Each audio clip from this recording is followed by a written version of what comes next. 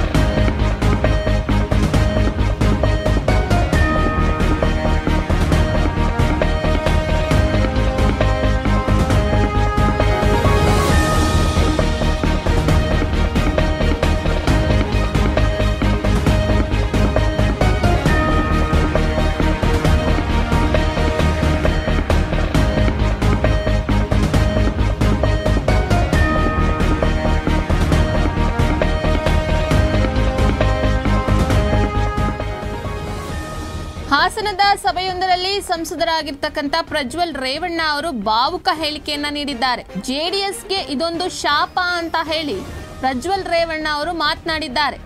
ನಾವು ಬೆಳೆಸೋದು, ಬೆಳೆಸಿದ ಮೇಲೆ ನಮ್ಮನ್ನ ಬಿಟ್ಟು ಹೋಗೋದು. ನಮ್ಮ ಹತ್ರ ಬಂದು ಬೆಳೀತಾರೆ. ಆಮೇಲೆ ನಮ್ಮ ಪಕ್ಷವನ್ನ ಬಿಟ್ಟು ಬೇರೆ ಪಕ್ಷಕ್ಕೆ ಸೇರ್ತಾರೆ. ಗುರುತಿಸ್ಕೊಳ್ಳೋವರೆಗೂ ಜೆ ಡಿ ಎಸ್ ಪಕ್ಷ ಬೇಕು. ಆಮೇಲೆ ಜೆ ಡಿ ಎಸ್ ಪಕ್ಷ ಬೇಡ. ನಾವು ಇದಕ್ಕೆಲ್ಲ ಎದರಲ್ಲ ಅಂತ ಹೇಳಿ ಸಂಸದರಾಗಿರ್ತಕ್ಕಂಥ ಪ್ರಜ್ವಲ್ ರೇವಣ್ಣ ಅವರು ಹೇಳಿಕೆಯನ್ನ ನೀಡಿದ್ದಾರೆ. ಆದರೆ ಅವರು ಈ ವಿಚಾರದ ಕುರಿತು ಯಾರಿಗೆ, ಯಾರನ್ನ ಪಾಯಿಂಟ್ ಔಟ್ ಮಾಡಿ ಹೇಳ್ತಾ ಇದ್ದಾರೆ ಅಂತ ಹೇಳಿ ಕೂಡ ಗೊತ್ತಾಗಿಲ್ಲ. ಬಟ್ ಬೆಳೆಸೋದು ನಾವು ಬೆಳೆಸಿದ್ಮೇಲೆ ನಮ್ಮನ್ನು ಬಿಟ್ಟು ಹೋಗ್ತಾರೆ. ಗುರ್ತಿಸ್ಕೊಳ್ಳೋವರೆಗೂ ಮಾತ್ರ ಅವರಿಗೆ ಜೆ ಡಿ ಎಸ್ ಪಕ್ಷ ಬೇಕು, ಆಮೇಲೆ ಜೆ ಡಿ ಎಸ್ ಪಕ್ಷ ಬೇಡ. ನಾವು ಇದಕ್ಕೆಲ್ಲ ಹೆದರೋದೇ ಇಲ್ಲ ಅಂತ ಹೇಳಿ ಕೂಡ ಮಾತನಾಡಿದ್ದಾರೆ. ಬಂದು ಹೋಗೋರೆಲ್ಲ ಹೋಗ್ಲಿ. ಎಷ್ಟು ಜನ ಬರ್ತಾರೋ ಬರಲಿ. ಎಷ್ಟು ಜನ ಇರ್ತಾರೋ ಇರ್ಲಿ. ಹೋಗೋರೆಲ್ಲ ಹೋಗ್ಲಿ. ಆದರೆ ಇದಕ್ಕೆ ನಾವು ಕೇರ್ ಮಾಡೋದೇ ಇಲ್ಲ. ಮತ್ತೊಬ್ಬ ಯುವ ರಾಜಕಾರಣಿಯನ್ನ ಹುಟ್ಟಾಕುವಂತಹ ಶಕ್ತಿ ನಮಗಿದೆ. ಅಂದ್ರೆ ಜೆ ಡಿ ಎಸ್ ಪಕ್ಷಕ್ಕೆ ಇದೆ ಅಂತ ಹೇಳಿ ಮಾತನಾಡ್ತಾ ಇದ್ದಾರೆ. ಕುಮಾರಸ್ವಾಮಿ ಮತ್ತೆ ದೇವೇಗೌಡರಿಗೆ ಮತ್ತೊಬ್ಬ ಯುವ ರಾಜಕಾರಣಿಯನ್ನ ಹುಟ್ಟಾಕುವಂತಹ ಶಕ್ತಿ ಇದೆ ಅಂತ ಹೇಳಿ ಹಾಸನದ ಸಭೆಯೊಂದರಲ್ಲಿ ಪ್ರಜ್ವಲ್ ರೇವಣ್ಣ ಅವರು ಮಾತನಾಡಿದ್ದಾರೆ. ಆದರೆ ಯಾರ ಕುರಿತು ಈ ಒಂದು ವಿಚಾರವನ್ನ ಸಭೆಯಲ್ಲಿ ಪಾಯಿಂಟ್ ಔಟ್ ಮಾಡಿ, ಇವರೇ ಅಂತ ಹೇಳಿ ಪಾಯಿಂಟ್ ಔಟ್ ಮಾಡಿ ಯಾರನ್ನ ಅಂತ ಹೇಳಿದ್ದಾರೆ ಅಂತ ಹೇಳಿ ಕೂಡ ಗೊತ್ತಿಲ್ಲ. ಬಟ್ ಅಥವಾ ಈಗೇನು ಪಕ್ಷಾಂತರ ನಡೀತಾ ಇದೆ, ಆ ಒಂದು ನಿಟ್ಟಿನಲ್ಲಿ ಅದನ್ನ ದೃಷ್ಟಿಯಲ್ಲಿಟ್ಕೊಂಡು ಹೇಳಿದ್ದಾರಾ ಗೊತ್ತಿಲ್ಲ. ಆದರೆ ಇವರು ನಮ್ಮ ಪಕ್ಷಕ್ಕೆ ಯಾರೇ ಬರಲಿ ಬರೋರೆಲ್ಲ ಬರಲಿ, ಇರೋರು ಇರಲಿ, ಹೋಗೋರೆಲ್ಲ ಹೋಗಲಿ, ಯಾರು ಬಂದ್ರು ಯಾರು ಹೋದ್ರು ಅದ್ರ ಬಗ್ಗೆ ನಾವು ಕೇರ್ ಮಾಡಲ್ಲ. ಮತ್ತೊಬ್ಬ ಯುವ ರಾಜಕಾರಣಿಯನ್ನು ಹುಟ್ಟಾಕುವಂಥ ಶಕ್ತಿ ನಮಗಿದೆ.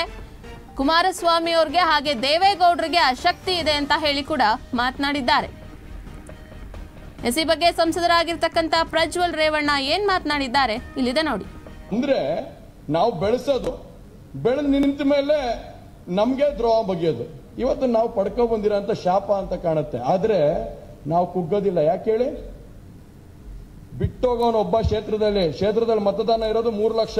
ಮೂರು ಲಕ್ಷದಲ್ಲಿ ಇನ್ನೊಬ್ಬ ಯುವಕನ ಸೃಷ್ಟಿ ಮಾಡೋಂಥ ತಾಕತ್ತು ಇವತ್ತು ಕುಮಾರಣ್ಣಂಗೆ ದೇವೇಗೌಡರಿಗಿದೆ ಇದು ಹಾಗಾಗಿ ನಾವು ಯಾರಿಗೂ ಎದುರಬೇಕಾಗಿಲ್ಲ ನಾವು. ಅಂದ್ರೆ ನಾವು ಬೆಳೆಸೋದು, ಬೆಳೆದು ನಿಂತ ಮೇಲೆ ನಮಗೆ ದ್ರೋಹ ಬಗೆಯೋದು. ಇವತ್ತು ನಾವು ಪಡ್ಕೊ ಬಂದಿರೋಂಥ ಶಾಪ ಅಂತ ಕಾಣುತ್ತೆ. ಆದ್ರೆ ನಾವು ಕುಗ್ಗೋದಿಲ್ಲ. ಯಾಕೆ ಹೇಳಿ?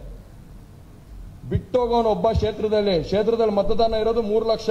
ಮೂರು ಲಕ್ಷದಲ್ಲಿ ಇನ್ನೊಬ್ಬ ಯುವಕನ ಸೃಷ್ಟಿ ಮಾಡೋಂಥ ತಾಕತ್ತು ಇವತ್ತು ಕುಮಾರಣ್ಣಂಗೆ ದೇವೇಗೌಡರಿಗಿದೆ ಇದೆ. ಹಾಗಾಗಿ ನಾವು ಯಾರಿಗೂ ಹೆದರ್ಬೇಕಾಗಿಲ್ಲ ನಾವು.